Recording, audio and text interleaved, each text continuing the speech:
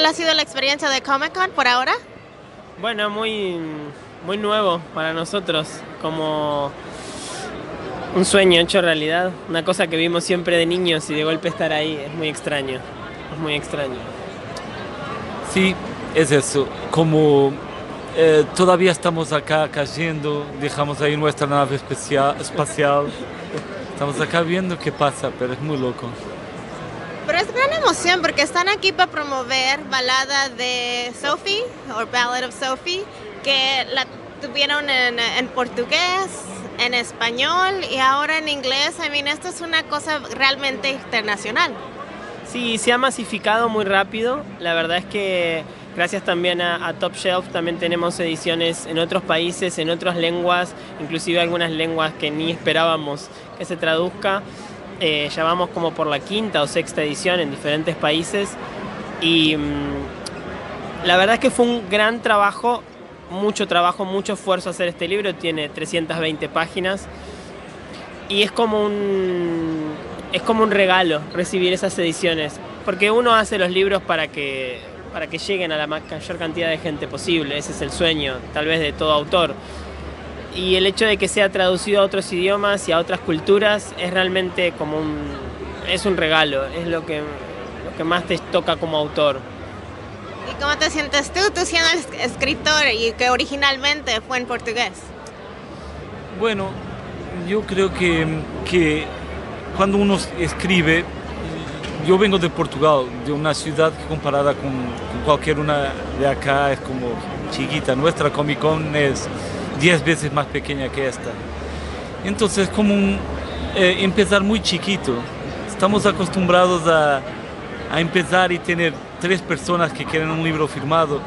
La segunda vez que estamos son 10, después 20 y ahora es como todo otro nivel porque estamos en Comic Con San Diego. Entonces es como, eh, es una esperanza creo porque hay mucha gente intentando hacer cómics y siempre sus padres dicen quizás no es una buena idea porque no elige una profesión en serio Acá por lo menos estamos los dos, no para dar un ejemplo de algo que, haya ido bien, porque la verdad que se sufre, pero igual puedo decir que, es un camino que acá es, un regalo también, estar acá, es como muy mágico. Esa es la experiencia. Es chistoso porque siento que para la carrera de artista siempre los papás dicen que el ideal trabajo es uno de, lunes a viernes de 9 a 5, ¿no? Pero la pasión no es de 9 a 5, siempre existe, ¿no? Siempre cuando uno trabaja de lo que le gusta termina trabajando más tiempo que un trabajo de 9 a 5. Es llamativo eso porque es como elegir un camino tal vez mucho más difícil pero mucho más sincero con uno mismo y donde uno cree que puede bueno, tener otro vínculo con lo, con lo que hace. Y en ese sentido es... Em, justo ayer hablábamos de eso, de cómo también el vínculo con los padres va cambiando en relación a eso a medida que la carrera va creciendo. Después los padres es como que, wow, qué bueno lo que estás consiguiendo y, una sorpresa y poder compartirlo. Es, eh, es un lindo esfuerzo, vale la pena. Ahora, ah, compartan cómo se compartieron el trabajo, porque ambos son los creadores. Entiendo que tú escribiste el original y tú, ¿cuál, cuál fue la participación? Bueno, yo siempre hago los dibujos, él hace la historia y como decía antes, trabajamos siempre en equipo, nunca hemos trabajado con otros autores. Fue un poco una decisión, ya que es un side work. Y mm, y trabajamos muy en conjunto. Él, opina mucho sobre el arte y yo opino mucho sobre el guion, ah, siempre de una manera respetuosa, pero es como una creación colectiva. ¿Y cómo oí que estaban hablando algo de una melodía en, especial que pueden compartir?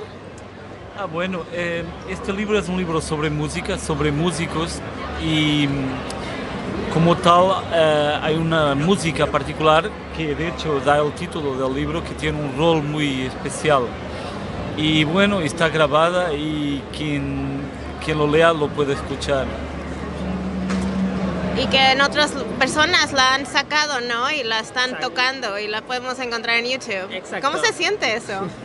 es muy extraño y es como decía adelante, fue una experiencia que dudamos mucho en hacerlo, porque se habla mucho de la pieza en el libro y es como mostrar el monstruo al final, pero tal vez eh, eso fue lo que más nos interesaba, la posibilidad de que el lector pueda, una vez que termine el libro, encontrarse la pieza, leerla, tal vez grabarla, y así es que aparecen en YouTube muchas versiones en diferentes instrumentos, sobre todo en piano, porque la pieza está pensada para piano y la partitura está escrita para piano, pero quien sabe de música la ha traducido a otros, otros idiomas, y a otros idiomas, a otros lenguajes musicales, y es muy, es muy extraordinario verlo así. No hemos hablado de la historia. ¿Puede que pueden tocar algo breve de lo que se trata? Bueno, es una historia de, en realidad, un pianista y su vida eh, eh, por, eh, por, el periodo de 80 años y lo que pasa. en especial sus relaciones, pero especialmente con otro pianista que él cree que toca mucho mejor que él. Entonces es como una historia medio clásica, pero que aprovechamos para hablar de todas nuestras ansiedades, frustraciones, dolores lo aprovechamos para echarlo todo ahí, para que la gente lo sufra con nosotros. Pero estaba pensando mientras escuchaba acá Juan hablar que también el hecho de estar acá en Comic Con representa algo muy importante para nuestros países incluso, porque tienen industria de cómics muy pequeña y es como acá es una exportación al final, como estamos acá representando a nuestro país como una selección de fútbol. Y, y, recibo mensajes de artistas portugueses más jóvenes que dicen, ah, felicitaciones por que estés ahí. Eso nos deja muy felices, como representar nuestros países acá es importante. Es muy, es muy complejo. Por ejemplo, en Argentina el libro no ha sido editado y yo hace ya un año que estoy tratando y de hecho eh, IDW y Top Shelf han liberado los derechos para que se pueda hacer, pero la industria es tan pequeña que no pueden asumir el riesgo de impresión. Entonces, por ejemplo, mi libro no, mis libros no están en, en Argentina. Mis padres no lo han podido leer, lo han leído en otros idiomas o la edición española pero es muy extraño. Entonces, claro, como dice Philip, llegar aquí es un poco representar al país en algo que está sucediendo. Porque también la verdad es que hay acá una curiosidad. Estamos en el centro de la cultura pop mundial acá hoy. Y hay una curiosidad por historias que sean locales, que sean europeas o latinas o no sé, que pasen en Serbia o en China. Hay como una curiosidad mucho más global. Creo que el cómic ya no es la cosa del superhéroe, se viene convirtiendo como el cine del mundo, digo, como la música del mundo. Hay una curiosidad y eso es muy mágico también para nosotros verlo y, y, tienen un, rol activo en eso. Exacto, Es un cine leído, ¿no? Que uno en parte como que está poniendo un poquito de su imaginación a él. Absolutamente. Es como dicen varios, es el cine de los pobres.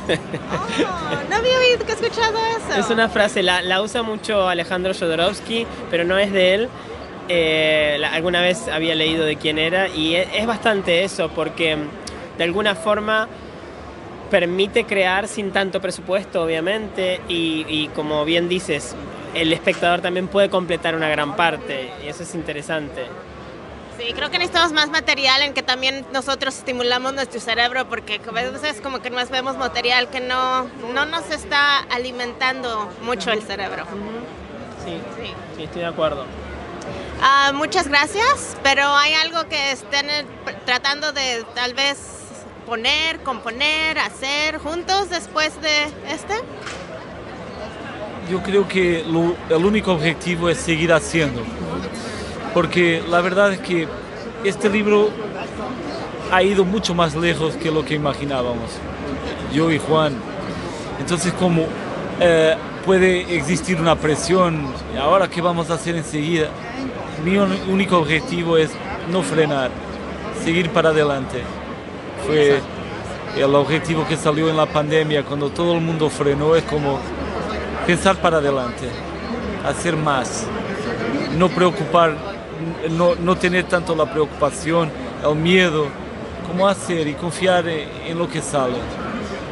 Pues muchas gracias por tiempo y muchas felicidades y más éxito y que pongan más en alto a Latinoamérica y otros países como Portugal. Muchísimas gracias, muchas gracias. gracias. gracias.